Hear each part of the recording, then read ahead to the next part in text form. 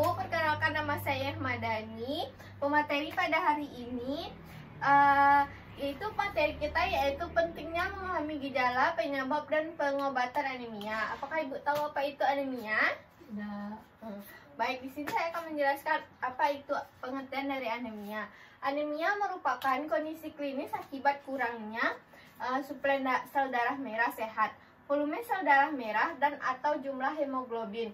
Hipoksia terjadi karena tubuh kurang oksigen. Terlepas dari penyakit itu, tersendiri anemia mencerminkan beberapa kondisi patogenik dan mengarah pada abnormalitas jumlah struktur dan fungsi sel darah merah.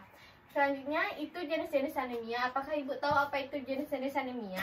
Tidak. Hmm, baiklah, di sini saya akan menjelaskan yang pertama yaitu thalassemia, yaitu adalah kondisi bawaan lahir di mana pro produksi hemoglobin terganggu akibat adanya mutasi pada DNA yang berfungsi memproduksi hemoglobin. Selanjutnya yaitu anemia sel, sel sabit adalah uh, kelainan darah yang diturunkan atau bawaan lahir di mana terjadi kelainan hemoglobin yang membuat sel darah merah berbentuk tidak normal seperti bulan sabit dan menjadi tidak fleksibel dan menjadi tidak fleksibel serta mudah lengket. Yang ketiga adanya yaitu anemia akibat masalah kesehatan kronis.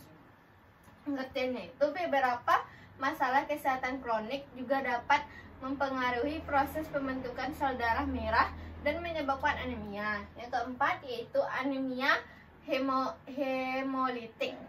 Pengertiannya yaitu menyerang seseorang apabila sel darah merah mengalami kehancuran lebih cepat daripada proses pembentukannya.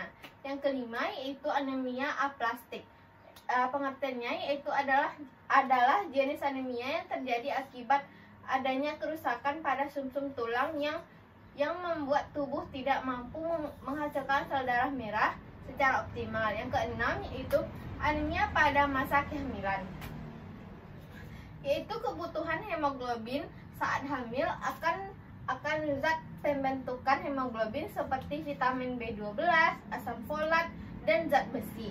Yang ketujuh yaitu anemia akibat pendarahan yang menyebabkan bisa karena cedera, uh, wasir, menstruasi, peradangan pada lambung, efek samping obat, atau kanker usus. Yang kedelapan adanya yaitu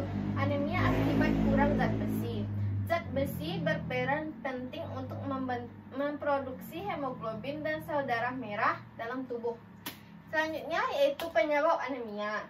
Yang pertama, uh, adanya masalah pada sistem kekebalan tubuh. Yang selanjutnya memiliki riwayat masalah kesehatan kronik.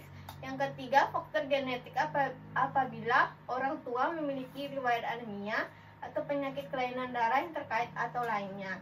Yang keempat yaitu memiliki masalah kesehatan dengan sumsum tulang belakang sedang dalam masa kehamilan. Yang kelima, kurangnya asupan vitamin dan mineral. Selanjutnya, ada cara mengatasi anemia tersebut. Anemia adalah kondisi yang dapat disembuhkan dengan pemberian obat-obatan sesuai dengan penyebabnya. Yang pertama yaitu uh, eritropoetin atau obat yang membantu sumsum -sum tulang memproduksi sel darah merah. Yang kedua, mengkonsumsi suplemen asam folat, zat besi, dan vitamin B12. Yang ketiga, melakukan uh, transfusi darah jika diperlukan. Yang kelima, yang keempat, tra transplantasi sumsum tulang belakang. Yang kelima yaitu operasi. Uh, baiklah Bu, sekian penjelasan materi dari saya. Uh, Bu, dari sekian uh, pemaparan materi dari saya, apakah ada ibu-ibu uh, yang bertanya? Ada. Ya, dipersilakan kepada Ibu. Uh, izin saya bertanya, apa yang yang terjadi jika tubuh kekurangan sel darah merah? Oh, uh, apa yang terjadi jika tubuh ter jika tubuh kekurangan sel darah merah? Yang ya. pertama itu terjadinya uh, pucat dan lelah. Baik, Bu. Sekian, terima kasih. Uh, tadi saya sudah menjelaskan materi dan Ibu sudah bertanya dan saya akan uh, membagikan leaflet untuk Ibu. Kita akan mengevaluasi uh, bagi ibu-ibu yang tahu apa itu pengertian dari anemia. Tahu. Nah, coba Bu sebutkan Bu.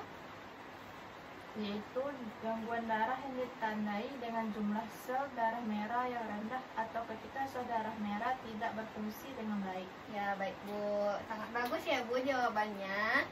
Eh, selanjutnya, eh, apakah ibu- ibu-ibu tahu apa itu jenis-jenis anemia?